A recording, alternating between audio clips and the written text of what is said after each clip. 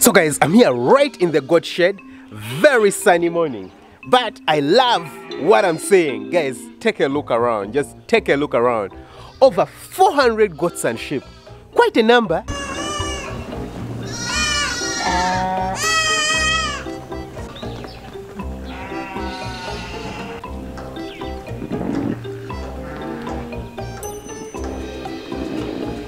And yeah, there's certainly way more sheep than goats. You can see one of the little kids came to say hi. Say hi. He has run away. Anyway, the sheep certainly grow way, way, way, way quicker than the goats. That's something I've noticed. Number two is that these things really grow quick. It's not been so long that I've been here, but all the kids we had in March, early Feb, are almost ready for eating right now. So these things grow really, really quick. It's something that I would advise for anyone over there who wants to get a rather easy way into farming. And yes, the sheep also eat way more. The other thing I've noticed is that they usually cluster. So if you guys take a look around here, you'll notice that most of what you're seeing is actually goats, yeah? Lots of goats. But then if you take a look over there now, those over there are in the shed. The problem is that if I get close, they're going to run away. But if, I, if you take a look over here, most of what you're going to see is sheep, yeah? Lots and lots of sheep over here. So the sheep usually chill together and the goats usually chill together, but they don't have a problem being with each other. The other thing that I've noticed is that the sheep are a bit dumber compared to the goats, yeah. They're a bit slow in their thinking and the way they do their things, but well, that's how God made them. The goats are certainly way brighter, way, way brighter. So what's happening this morning is that we are trying to isolate the sheep and the goats that are not feeling well, the ones that are ill.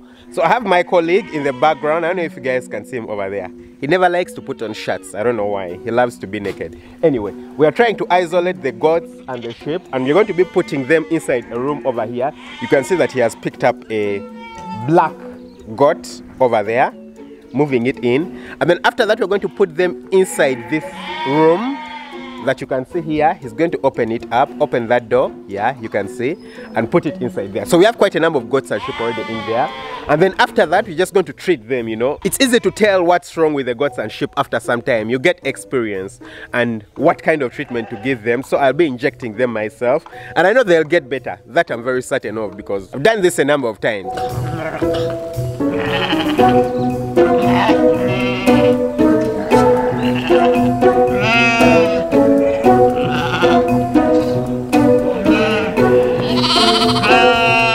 the gold shed, we have a small hill. You guys can see it. It's like an ant hill, probably an ant hill. Um, so it has a lot of soil, which is clay. I think it's clay soil, the red clay. I don't know the name. It's marram, certainly, some form of marram.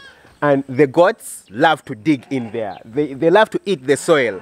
I think they get the iron from there, so they really love it. So you'll find them digging and eating the soil. So we actually already have quite a big hole in there. Over there, we have a really huge tank. Uh, you guys can see it. It's a really, really huge tank. And the tank doesn't just supply the goat shed, no. The tank actually supplies a lot of the farm. So it's powered by a pump somewhere, you know, a solar pump. That's power brings water over here, and then we use this water to feed the goats over here, feed some cattle, and then we have greenhouses this side where we are growing some crops. So this tank also supplies that. But the goats like to chill under the, the tank, as you can see over there.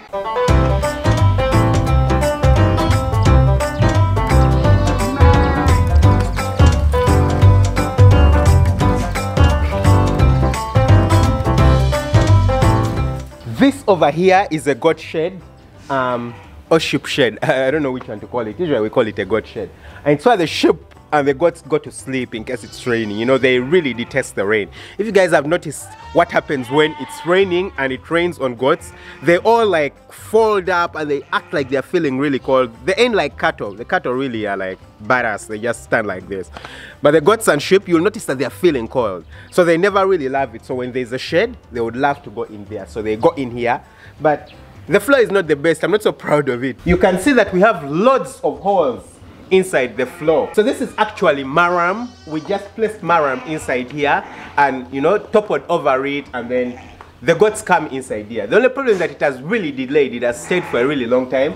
And what's happened is that slowly by slowly, holes have developed. And the problem with that is that with time, um, the dung of the goats, when it's raining, it stays in there and it can cause disease. So the plan is that sometime this week we're just going to get new, newer marram and we pour in here. It's been delayed a bit because we've been having some rains and you don't want to pour marram inside here during the rainy season because it's going to get really terrible. It's going to get very muddy. So you want to pour it in when it's dry. It looks like it's been dry over the past two days. Hopefully there will rain today or something like that. Then we can get more marram and pour it in here and we have a better environment. Better hygiene. And this is our water source as you guys can see. Yep. So the water pours inside here. We have um, cement slabs.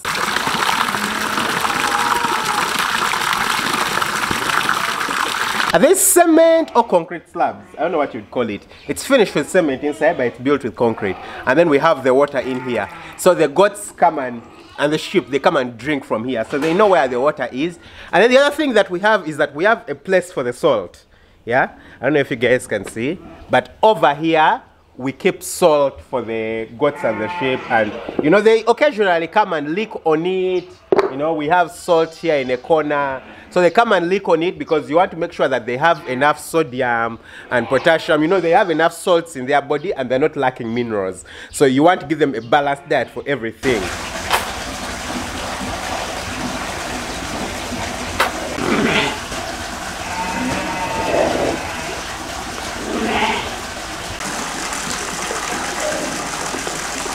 So guys, the goats and sheep grow really, really quick, which is a nice thing. In a very short time, you've had them matured. So the schedule for us, you might wonder why they're in here and they're not feeding. What happens is that they stay inside this shed until around midday. And then at midday, they'll go out and they'll feed from midday to 6 p.m. They don't need too much feed. I know there are people who even feed them from just around 2, 3 p.m. up to, you know, 6, 7 p.m. So for us, it's from midday. We'll just have the guy who keeps care of them, the herdsman, move out with them. The little tiny babies will stay in here because they can't cope up. They can't move the long distances, which he moves when he's keeping them. So they'll stay in here and they don't eat a lot of grass anyway. And then he'll move out with the adults and then they will feed on the grass. You know, we have over maybe 300 acres of grass on this farm, almost 400 acres actually of grass where they can feed and they don't eat too much. So the space is enough for them. They'll move around, they'll feed. And then at around 6 p.m. in the evening, um, who will come back, 6.30 p.m., who will come back and they'll come inside here. They drink their water and everything.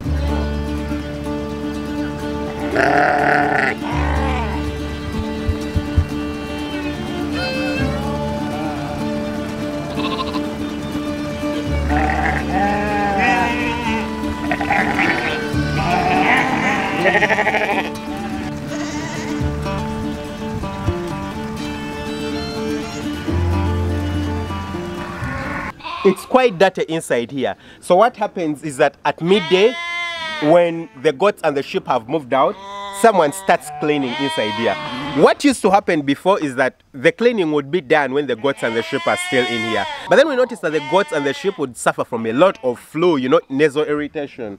And I think because because of the dust. So after that we decided, you know, to clean inside here we'll just sweep it out every day apart from the days when it rains when the goats and sheep have moved out and they are feeding. And guys the most interesting thing i found about these goats and sheep is you'll find a grown-up goat or sheep especially the sheep breastfeeding from a mother that's not their mother you know. The mother has a little lamb but someone who is grown up comes to breastfeed and they seem okay with it.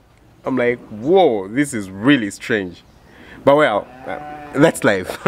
that's their life. They enjoy it. That's all up to them. So guys, that was a brief tour of what happens in our goat farm. I'm clearly going to be sharing more and more over time. But don't forget to hit the subscribe button, smash that notification bell. That way you never miss out on an upload. Hit the like button. You're going to be getting more and more videos with time. If you have any question about our goat and sheep shed or any advice, any tips, leave them in the comment section below. Otherwise, thanks for watching. Lots of love. Catch you very soon with another video. Bye-bye.